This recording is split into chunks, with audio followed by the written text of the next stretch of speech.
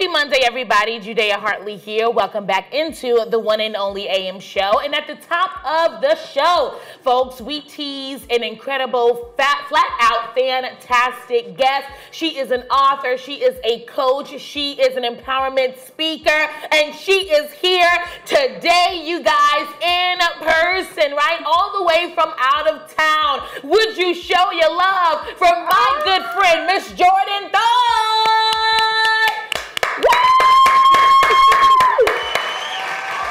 Yes, I am so excited to have you with us, Jordan. First of all, you oh look absolutely gorgeous. Thank you. You do. I mean, it was just it's just such an honor to have you in person. You know that I have been following you for quite some time now. And I've been a supporter, you guys, of Jordan Aww. Thorpe for over maybe maybe six to eight years yes, now. I remember. Remember? Yes. Yes, remember? remember. And she remember. she is an author, you guys, of course, a social media influencer. Just she does public speaking. She's an empowerment coach, life coach. You name it, she does it. So, in Mm-hmm. in addition to doing all of these wonderful things, Jordan, I have to put you on blast. It's also her birthday, you guys. Yes.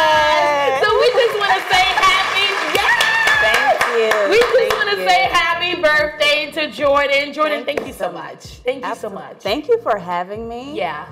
Um, it's just a blessing to be here, Yeah. and I'm excited. Yes. Yes, so am I. And you know, I'm super excited to chat about everything you have going on. So I want to go back to the genesis of your journey, right? Jordan Thorpe, the author, the influencer, the coach, right, to so many women. When did you realize you had a voice to empower other women? Well, it wasn't until I was actually working. Mm-hmm. I was working a nine to five at a university, and I was wrongfully terminated. Wow. I was wrongfully terminated from my job, and it actually, the person who hired me was close to family members, so it broke up my family dynamics. Oh, wow. Um, I was outcasted, and then that was really the first time in my life where I was able to sit down and figure out what I wanted. Yeah. Not what my mom wanted, not what my parents, not what society wanted for me, but what I wanted for myself. Mm. What did I desire for myself? Yeah. And during that time off, I found God. Mm. It wasn't in church, it was just an intimate moment, like in my room on my bedroom floor, and I was just overwhelmed and overflowing with the Holy Spirit. And He started speaking to me about things that He wanted me to do. And then, so fast forward, 2017, I um, I was with a friend and I'm talking and I'm telling her about things that I wanted to do, and she was like, "You should call it Jordan's Journey." Mm. And the rest is history. I start I love. No, I start that. blogging. Yeah, yeah, yeah. and people locally start reading my blog. I just start blogging about my experience as a teenage mom, about different family experiences, Mm-hmm. and not being like being able to fit in with Mm. the cho- church culture and people start resonating with the blog. Mm-hmm. And then so I wrote the book, My Journey to Christ, which is also called Jordan's Journey. Mm-hmm. And God one day was like, make a video. Mm. And then once I made the video, everything kind of took off from there. No, I love that. And tell us what that video was about. So after I was terminated, I, I took some time and I ended up moving to California. Mm. So I'm originally from Pittsburgh, PA, mm-hmm. and I relocated to California in like 2018, and I was there for five and a half years. Mm. And so during that time was really my wilderness season, mm-hmm. where it's like, okay, I have a relationship with God, I'm starting my journey, but it really that experience took everything to the next level, where I, where I really got to see God work in my life. Yeah. Um, and so I would do Sabbath with my son every Saturday. I would read scriptures. And one day a family member was like, Well, have you ever thought about reading that scripture like maybe teaching a Sunday school. Yeah. Like, this is really good. Like, Yeah. somebody else needs to hear this. Mm-hmm. And I'm like, no, that's kind of what Jordan's journey is for. And then it just clicked. Like a light Yeah. bulb went off. And then God was like, that same scripture you read, read it on camera and post it on mm. YouTube. And so my YouTube at the time was, I probably had like 200 subscribers Yeah. and I was getting like 50 views. And I posted the video, I read the scripture. I didn't even show my face. Yeah. And then I went from like 100 views to like 7,000 Oh wow. in like two days. Wow. And then I got monetized. And then so and then I was at a time where I was really seeking God because I was trying different business ventures. Like I think I had a cleaning company which wasn't working. Um, I had another business I was doing in tech and it just I was trying to get stuff off the ground. I'm like, okay, well God, what do you want me to do? yeah. And then he confirmed it. Mm. I got monetized within like a month. Oh And my goodness. I just kept doing it. Every day I was showing up. I was showing up. And then people start booking sessions, Yeah. booking coaching sessions. And I'm like, okay, I'm gonna Yeah. just keep going. No, I keep love this. I love this. So wait, so I love how faith, your journey to faith, Uh-huh. right? Your honest journey after Mm-hmm. overcoming probably shame, probably being outcasted by your family. Mm-hmm. And then I was a teen mom. My family was in the church. Yeah. And so then I show up pregnant in 12th grade. And so it just is a bad look for the family. Mm. I get that. And yeah. so it was just always something.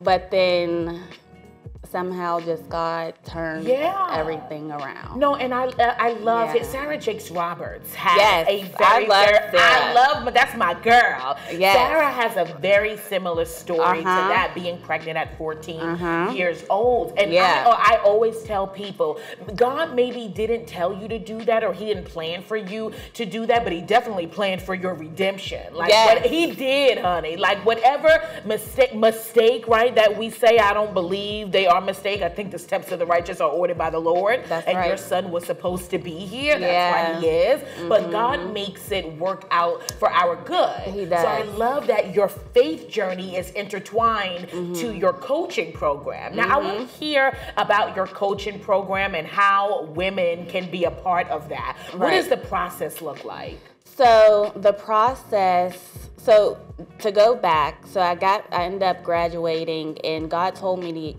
to, go and get a coaching certification mm. back in 2016, mm-hmm. 2017, and I didn't really start going full-time coaching until like 2020. Mm. So sometimes God will tell you something, and I'm like, I want to do this, but I never really had any bookings until years later. Yeah. And so the process has evolved into just getting into alignment into what God is calling you to do. Yeah. There's so many distractions in life. People are unclear, there's confusion. Yeah. But the moment you get clear on who you are, clear on your action steps, clear on what you're supposed to be doing, that's when you're going to see growth. That's when you're mm. going to see acceleration. And so it's just getting aligned, getting focused, and taking action. Uh, I love it. And that's Mm-hmm. exactly, Jordan, what you preach on your Instagram, which encourages me every day. You're always giving tips on how to elevate your vibration or Mm-hmm. tips on, uh, you know, these are five ways that God is telling you to let a relationship go or five Yes. ways you can dip into your healing. Mm-hmm. You guys, we actually have a clip from Jordan's Instagram. So let's take a look at our first video. Five signs God is calling you to let this thing go. Number one, it's no longer adding value. It's no longer adding anything beneficial to your life, but it's actually taking away. You actually feel drained. You actually feel tired, a lack of energy after this encounter. Number three, if it's leading you into sin, okay, if it's leading you to do things that go against your I love this because so many people know who they are and where they want to be, Jordan, but they don't know how to get there. Yeah. And in my opinion, your book serves as that blueprint. I want you to talk to us a little bit more about your book and the chapters and how it's helped other women, other pe- other men, Yeah. other people, the Yeah. testimonials. Yeah, so I originally wrote the book Jordan's Journey. Yeah. Practical Guide for Finding Self and Purpose. I wrote it for myself. Mm. I was coming to like a closed chapter in my life, and I mm. really wanted to um, kind of bring all the pieces together, and I would journal a lot. Mm. I would journal as a way to release. I didn't really have a lot of people who I could trust, who I could co- confide in. Mm-hmm. And so I journaled and I just took all my journal entries and organize them and publish the book in hopes to help other someone who is just trying to find themselves. Um, and I just talk about my journey to Christ, like different experiences that I had to go through to find who I was Yeah. and to ultimately cultivate my relationship with God. Mm, I love that so much. Yes. What does empowerment look like for you, Jordan? Like, because you spend your life, right, in ministry, empowering other women, men, Mm-hmm. Yeah. Boys, girls, me. so, what does empowerment look like for you? What are some practical ways that folks can empower you? Uh, well, I would say just being authentic. Um, Yeah, I get that. just being being who you are. I mean, that sounds pretty general. Mm-hmm. It, it sounds simple, but it's not that simple mm-hmm. um, because it's really a process. It's a mm. process of becoming mm. and embracing that, mm. being free to grow, being allowing yourself grace to evolve, to make mistakes, to learn, to fail, to get up and keep Yeah. going. I love that. And if you can master that, you know, self mastery, figuring out who you are, what you like, that will take you very, very far. It's so true. Mm-hmm. That authenticity, I always say it. Authenticity connects folks. Yeah. You try to be so uptight and so perfect. And mm-hmm. like Jordan, you almost become unreachable. I'm like, Right. I can't stand when people act like that. Stop it. Yeah. Stop trying to be the smartest person in the room. Stop trying to control but no, just be real. Yes. People connect with that more. And speaking of connecting, I want our viewers to be able to connect with you. What other passion projects do you have coming up? what can we stay on, on, on the lookout for? Okay, absolutely. So I am actually in the process of republishing my first book. Ah. Um, I wrote the book back in 2017, but there were some chapters that I'm adding. So, um, but it all connects. And so it's going to be Jordan's journey perfectly fulfilled. So be on the lookout for that. And it's just talking about my journey, but also talking about how to live a fulfilled life through Christ Yeah. um, what does that look like to be just filled Yeah. like with joy peace love Yes. and what does that process look like like in every area of your life and so god started really giving me revelation about that and so Yeah. i'm so excited for people to be blessed and and just transform Yeah, so true. Um, because it's literally a transformation oh yeah. and uh, also, our podcast is coming back.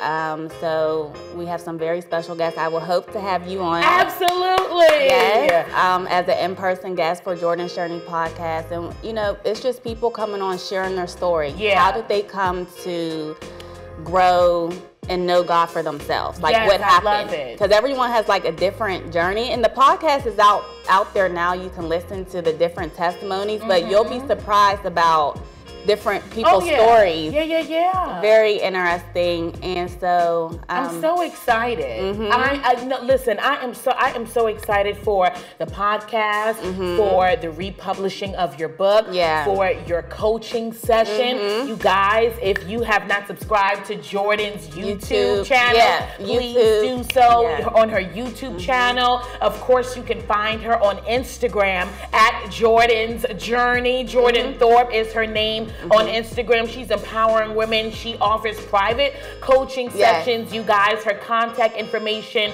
is on there, and you can just be a part of this greatness. You do it all a mother, an author, a coach, a YouTuber, now a podcaster. Y'all have to stay on the lookout for Jordan and her journey. And download her app, download Jordan's Journey app. Everything is in there. Yes, download mm-hmm. the Jordan's Journey app, whether you have an iPhone, Android, whatever yeah. phone you have. Jordan, I just got to thank you. Come on, thank y'all. You. Let's clap it up for Jordan Durham coming on the AM show.